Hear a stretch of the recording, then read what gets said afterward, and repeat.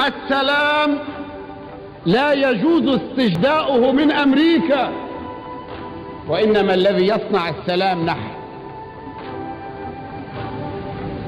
نحن نؤمن من جملة معتقداتنا أن أحد أسماء الله هو السلام. أحد أهدافنا الأساسية هو نشر السلام في العالم. لكن السلام عادة لا يؤخذ. لا يؤخذ من الآخرين. لا يستجدى من الآخرين. وإنما السلام تستطيع أنت كأمة أن تؤمنه لنفسك وأن تؤمنه لبقية الأمم.